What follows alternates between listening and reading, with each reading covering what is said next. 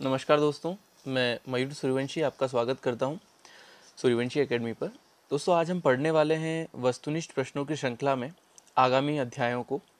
आज हम बात करेंगे भारतीय संविधान की उद्देशिका से जुड़े हुए प्रश्नों के बारे में और साथ ही साथ भारतीय संविधान के भाग एक, जो अनुच्छेद एक से लेकर चार तक वर्णित है, संघ और राज्य क्षेत्र, इसके बारे में कौन कौन से वस्तुनिष्ठ प्रश्न विभिन्न परीक्षाओं में पूछे जा सकते हैं।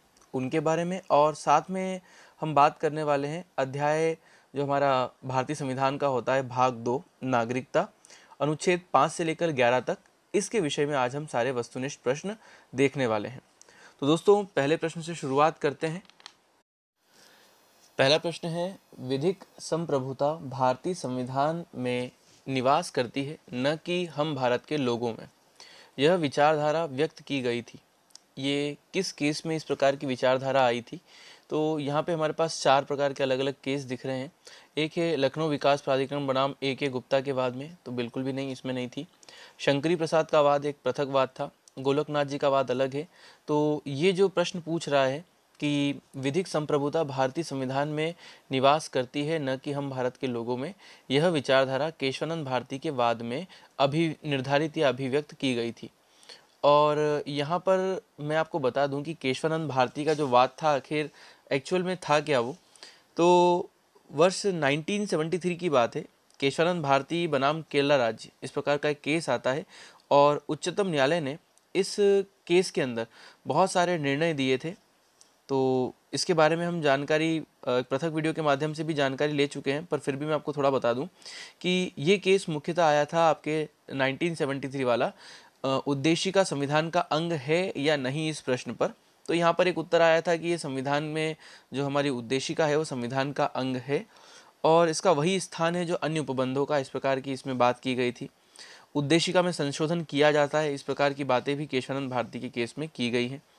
केशवानंद भारती का ही वह केस है जिसमें संविधान की बेसिक स्ट्रक्चर के बारे में बात की गई है। दूसरा यहाँ पे बताया गया था कि उद्देशिका जो है वो न्याय योग्य नहीं है, अर्थात इसके आधार पर कोई भी निर्णय नहीं लिया जा सकता। इसके अलावा जो सुप्रीम कोर्ट ने एक और जजमेंट दिया था यहाँ पर कि जो हमारी उद्देशिका है, ये जो है संविधान की व्याख्या करने के लिए बहुत महत्वपूर्ण रखती है।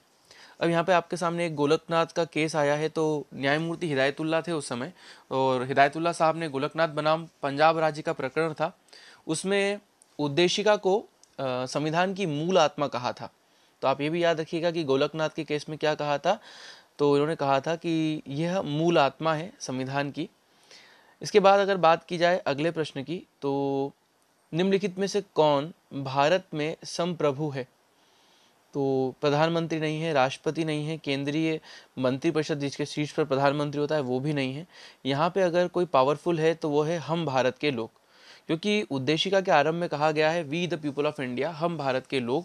इसका तात्पर्य ये है सिंपल सा कि संविधान के जो मूल स्रोत है, वो भारत की जनता है।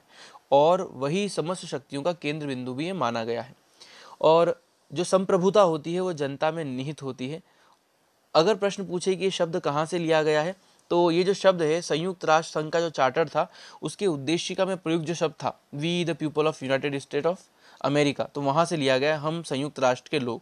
उसके समरूप है ये शब्द। आगे बढ़ते हैं, अगले उसमें कि नेक्स्ट प्रश्न क्या है?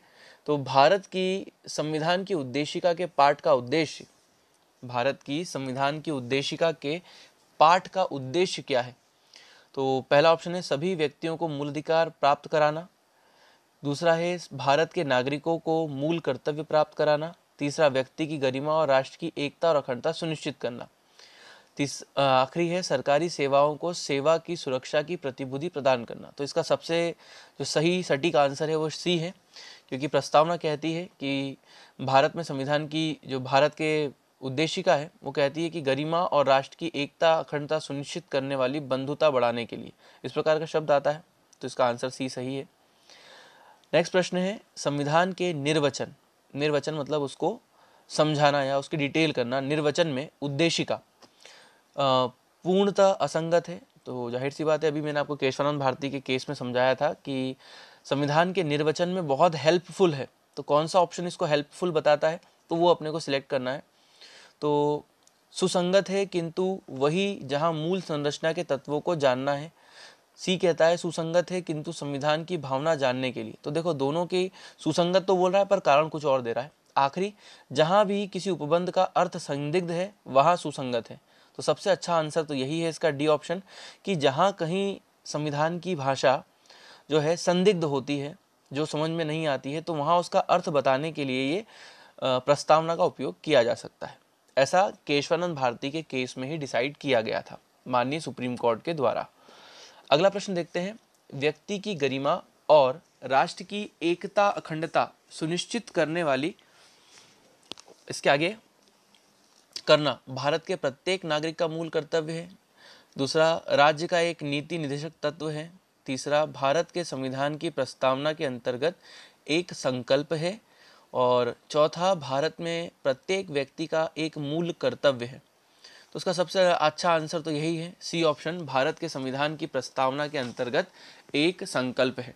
क्योंकि इस प्रकार का हम संकल्प लेते हैं, दृढ़ संकल्पित होकर अपनी संविधान सभा में। तो हम दृढ़ संकल्प हो रहे हैं तो इस प्रकार का संकल्प है ये। अब बात करते हैं नेक्स्ट प्रश्न की। तो संविधान की उद्देशिका घोषित करती है कि भारत, ये ऑप्शन दे रहा है, एक समाजवादी लोकतंत्रात्मक गणराज्य है। दोस्तों, अगर आपने संविधान की प्रस्तावना वाला वीडियो देखा होगा तो आप इसको समझ जाएँगे कि एग्जैक्ट इसका आंसर क्या है। तो इसका आंसर जो है, वो बी ही आने वाला है कि एक संपूर्ण, प्रभुत्व संपन्न, समाजवादी, पंथ, निरपेक्ष, लोकतंत्रात्मक गणराज्य। तो ये पूरा एक क्रम है, इस क्रम से ही आप इसको याद रखें। तो इसका आंसर जो बी है वो आपको याद रखना है। इन शब्दों के बारे में अगर आपको जानकारी चाहिए कि एक संपूर्ण प्रभुत्व संपन्न क्या होता है, समाजवादी क्या होता है, पंथ निरपेक्ष क्या होता है या लोकतंत्रात्मक गणराज्य क्या होता है तो इसके बारे में डिटेल्ड वीडियो है प्रस्तावना की विशेषता वाला। वो अवश्य सुनिएगा, क्योंकि किसी भी एग्ज़ाम में, चाहे वो सिविल जज की हो एमपीपीएससी हो यूपीएससी हो, इस प्रकार के शब्द आपको सदैव परेशान करेंगे, अगर इनका अर्थ आपको पता न हो तो। आगे बढ़ते हैं। भारत के संविधान की प्रस्तावना के अंतर्गत निम्न में से कौन सा क्रम सही है? तो क्रम वाली बात आ गई तो जो पिछला वाला हमारा प्रश्न था, वो क्रमानुसार ही था। इसमें भी क्रम ए वाला सही लग रहा है, प्रभुत्व संपन्न, समाजवादी, धर्मनिरपेक्ष। ठीक है, इसको हमने पंथ निरपेक्ष कर दिया है अब। तो प्रजातांत्रिक लोकतंत्रात्मक गणराज्य तो इसका यही होगा इसका आंसर, कि संपूर्ण प्रभुत्व संपन्न, समाजवादी, पंथ निरपेक्ष, लोकतंत्रात्मक गणराज्य। तो इसमें आंसर आप देख लीजिए ए ऑप्शन सही लग रहा है इसमें। ठीक है? देखिए, यहाँ पे प्रजातांत्रिक गणराज्य ए ऑप्शन में भी है बी ऑप्शन में भी प्रजातांत्रिक गणराज्य है। सी के अंदर पंथ निरपेक्ष और केवल गणतंत्र लिखा हुआ है। तो हमारे इसमें गणराज्य शब्द है। समाजवादी गणतंत्र तो हम समाजवादी गणतंत्र भी नहीं है। तो डी ऑप्शन कैंसिल हो जाएगा, गणतंत्र वाला कैंसिल हो जाएगा। दूसरी बात, यहाँ पे समाजवादी शब्द नहीं है बी ऑप्शन में तो ये भी कैंसिल हो जाएगा। तो पहला वाले का क्रम सही है।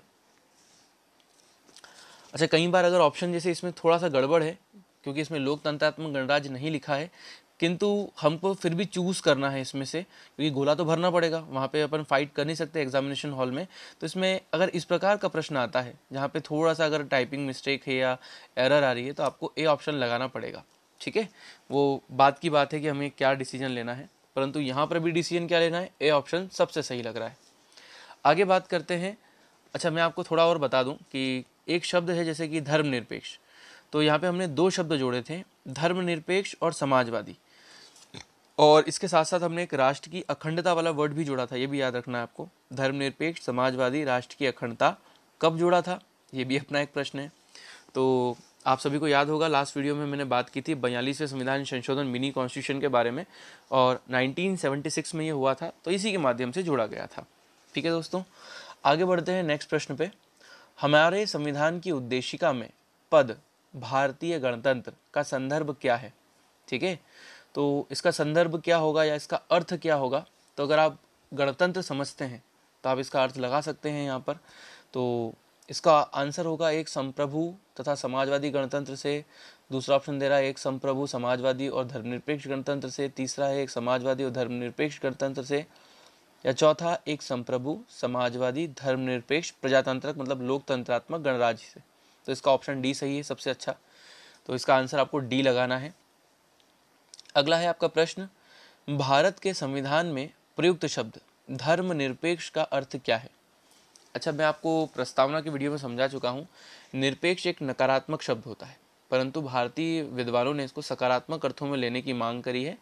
और धर्म निरपेक्ष को अब हमने पंथ निरपेक्ष कर दिया है 1976 से। तो यहाँ पे इसका क्या अर्थ होगा?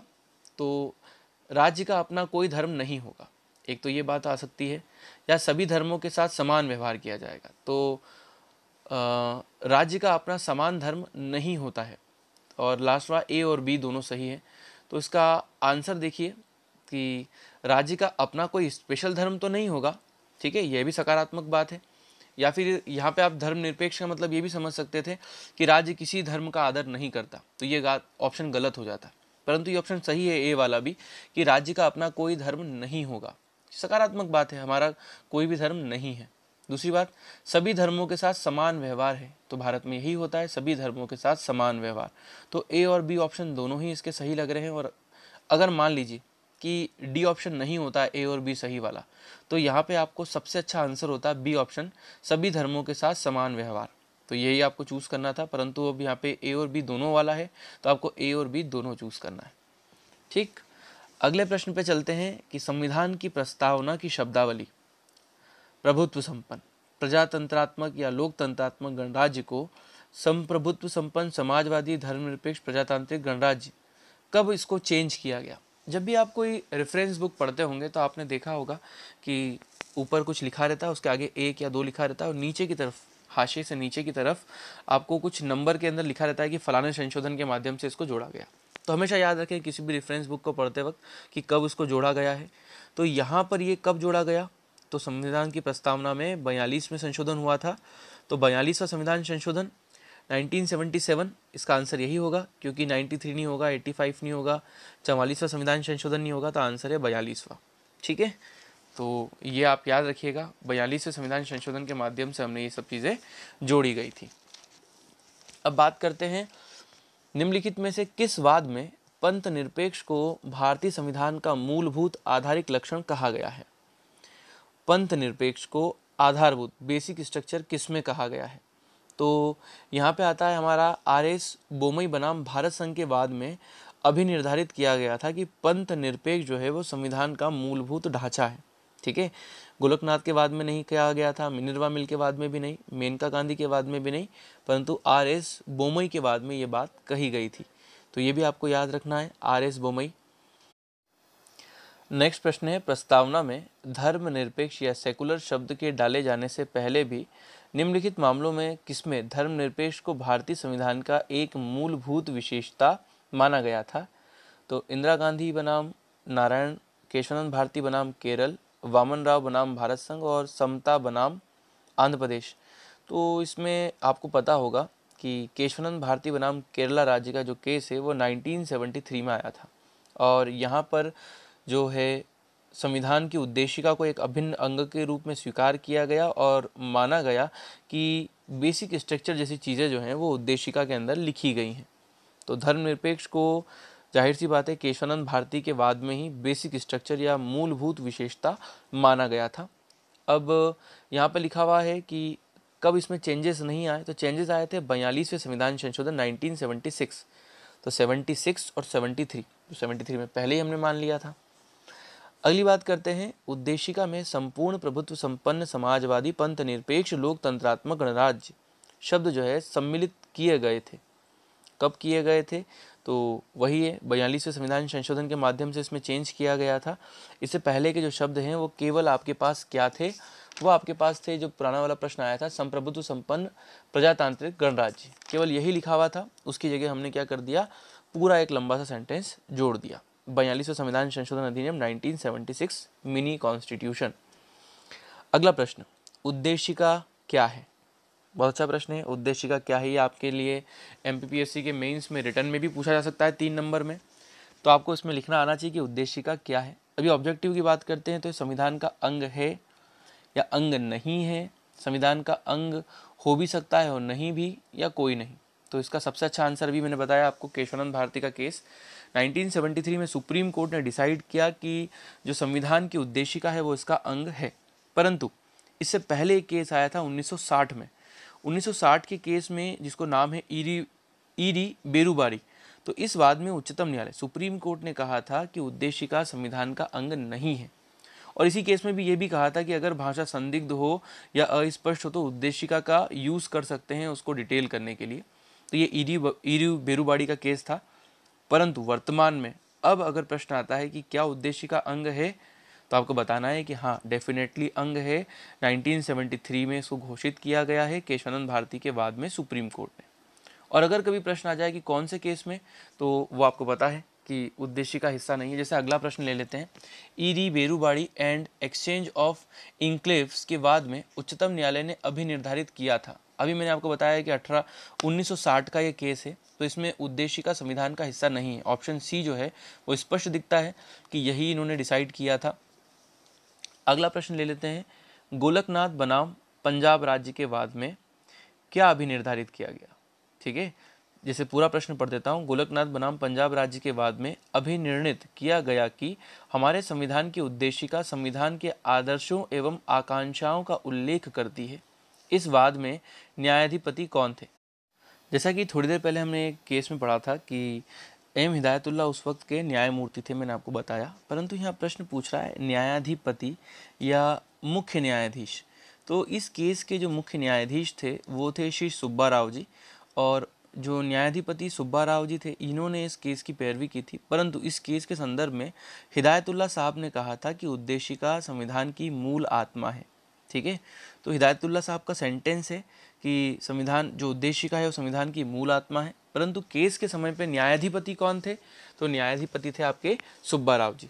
ठीक है? तो आपको कंफ्यूज बिल्कुल भी नहीं होना है। नेक्स्ट प्रश्न ले लेते हैं अपन भारतीय संविधान की उद्देशिका। अब ये क्या बोलना चाह रहा है तो ए ऑप्शन देख लेते हैं। संविधान का भाग नहीं है। प्राप्त किए जाने वाले लक्ष्यों को इंगित करती है। ये सही है। अच्छा पहला ऑप्शन तो कैंसिल ही है कि संविधान का भाग है एक्चुअल में वो। दूसरा है कि प्राप्त किए जाने वाले लक्ष्यों को इंगित करती है। तो बिल्कुल ये सही है। उस स्रोत को इंगित नहीं करती जिसे संविधान को अधिकार प्राप्त होता है। ये गलत है। ये करती है इंगित। संविधान निर्माताओं के मस्तिष्क को खोलने वाली चाबी नहीं है। एक्चुअल में चाबी कहा है इसको? तो ये दोनों ऑप्शन गलत हैं इसके सी ओ डी तो सही ऑप्शन जो सबसे अच्छा है वो है बी ए भी गलत सी भी गलत डी भी गलत। तो भारत के संविधान की जो उद्देशिका है वो भारतीय संविधान मतलब लक्ष्यों को इंगित भी करती है, जैसे सामाजिक, आर्थिक, राजनीतिक न्याय प्राप्त करना उद्देश्य बताती है। विचार, अभिव्यक्ति, विश्वास, धर्म और उपासना की स्वतंत्रता की बात करती है। प्रतिष्ठा और अवसर की क्षमता प्राप्त कराने की बात करती है। व्यक्ति की गरिमा और राष्ट्र की एकता, अखंडता सुनिश्चित करने वाली बंधुता बढ़ाने के लिए दृढ़ संकल्पित होकर इस प्रकार की पूरी बात करती है। तो ये इंगित कर रही है कहीं ना कहीं। नेक्स्ट प्रश्न ले लेते हैं। प्रस्तावना संविधान का भाग है यह प्रेक्षण उच्चतम न्यायालय द्वारा निम्नलिखित में से किस प्रकरण में अभी निर्धारित किया गया? तो प्रस्तावना संविधान का भाग है। पहले तो मैं आपको बताता हूँ, भाग नहीं है जो किया गया था। ईरी बेरूबाड़ी 1960 के केस में किया गया था। और अब भाग है, ये बताया गया है केशवानंद भारती बनाम केरला राज्य। ये जो केस था ऑल इंडिया रिकॉर्ड 1973 के चौदह सौ इकसठवें नंबर पर यह वाद अभी निर्धारित किया गया है, जबकि इससे पहले एरी बेरूबाड़ी के जो केस था 1960 वाला, जो था एस सी आठ सौ पैंतालीस के बाद में, उच्चतम न्यायालय ने इसे संविधान का भाग नहीं माना था। तो दोनों चीज़ आपको समझ में आ गई होंगी। नेक्स्ट प्रश्न है, निम्नलिखित में से किस एक का भारत के संविधान की उद्देशिका में उल्लेख नहीं किया गया है? तो आर्थिक न्याय हमारे संविधान की उद्देशिका में है, व्यक्ति की गरिमा भी है, अभिव्यक्ति की स्वतंत्रता और सबके लिए शिक्षा। तो भाई सी बात है, सबके लिए शिक्षा बिल्कुल भी नहीं है, क्योंकि सामाजिक, आर्थिक, राजनीतिक न्याय, विचार, अभिव्यक्ति तो यहाँ पे अभिव्यक्ति वर्ड भी आ जाता है, व्यक्ति की गरिमा और राष्ट्र की एकता तो वो गरिमा वाला भी, पर सबके लिए शिक्षा वाला नहीं है। नेक्स्ट बात करते हैं, किस संविधान संशोधन अधिनियम द्वारा संविधान की प्रस्तावना में दो शब्द जोड़े गए थे, धर्मनिरपेक्ष और अखंडता? तो कौन सा होगा? बयालीसवा संविधान संशोधन 1976 इसके अलावा तो और कोई संशोधन है नहीं। नेक्स्ट बात करते हैं, भारतीय संविधान की प्रस्तावना में क्या नहीं है? तो देख के समझ में आ रहा है, लोकतंत्र है, गणराज्य है, धर्मनिरपेक्ष तो सुरक्षा वर्ड नहीं है। नेक्स्ट प्रश्न है, निम्नलिखित में से किस प्रकार का न्याय संविधान द्वारा प्रदत्त नहीं है? ठीक है तो राजनीतिक न्याय मिलता है, सामाजिक न्याय मिलता है, आर्थिक न्याय मिलता है, नैतिक न्याय। तो ऑप्शन डी जो है, नैतिक न्याय, वो हमारे संविधान द्वारा प्रदत्त नहीं है। तो भारत के संविधान में न्याय संबंधी उपबंधों के जो बात है, उद्देशिका में की गई है और राज्य के नीति तत्वों का जो अनुच्छेद 38 है उसमें भी की गई है। तो इसके अनुसार संविधान में जो सामाजिक, आर्थिक, राजनीतिक न्याय है, वो तो हम प्रदान कर देते हैं, पर नैतिक न्याय प्रदान नहीं करते हैं। अब बात करते हैं संविधान संशोधन के द्वारा प्रस्तावना में धर्मनिरपेक्ष तथा समाजवादी शब्दों को अंतर्निहित किया गया है। तो वही प्रश्न आ जाएगा इसका, बयालीसवा संविधान संशोधन। ठीक है? उत्तर क्या है इसका? बयालीस फोर्टी टू चौबीसवा प्रश्न देख लेते हैं। भारत के संविधान की उद्देशिका, निम्नलिखित में से किसके द्वारा संशोधित की गई? तो फिर वही आंसर है इसका, बयालीसवा संविधान संशोधन। नेक्स्ट प्रश्न है, हमारे संविधान की उद्देशिका का सर्वाधिक महत्व और संविधान का अर्थान्वयन और निर्वचन उद्देशिका के, उद्देशिका में अभिव्यक्त महान और उच्च आदर्शों के प्रकाश में किया जाना चाहिए। ऐसा न्यायमूर्ति सीकरी ने यह मत अभिव्यक्त किया था। कौन से केस में किया था? तो न्यायमूर्ति सीकरी का संबंध कौन से केस में है? तो यह है केशवानंद भारती बनाम केरला राज्य 1973 आपको याद ही हो गया होगा। अब तक तो। भारत के संविधान की प्रस्तावना प्रियम्बल में अब तक कितनी बार संशोधन किया गया है? तो दोस्तों, आपको पता है, बयालीसवें संविधान संशोधन 1976 द्वारा एक बार संशोधन किया गया है। तो इसका आंसर डी सही है, एक बार। नेक्स्ट प्रश्न है, हमारे संविधान की प्रस्तावना में महत्वपूर्ण प्रस्ताव निम्नलिखित किसके नाम से बनाया गया? तो प्रस्ताव किसके नाम से बनाया गया? तो शुरुआत हमने लिखी थी, हम भारत के लोग। हम भारत के लोग तो इसका आंसर वही होगा, हम भारत के लोगों से। तो इसका आंसर ए सही है we the people of India इस प्रकार से हमने जो संविधान की उद्देशिका है, उसके संबंध में कुछ प्रश्न देखे। अन्य जो मिक्स प्रश्न हैं, उसके माध्यम से हम उद्देशिका के बहुत सारे और प्रश्न जो छूट गए हैं, उनको भी कवर करने की कोशिश करेंगे। और नेक्स्ट वीडियो में मैं कोशिश करता हूँ कि संघ राज्य क्षेत्र और नागरिकता दोनों के संबंध में एक संयुक्त वीडियो के माध्यम से आपको जानकारी दे पाऊँ। तब तक के लिए हमारे साथ जुड़े रहिए। धन्यवाद।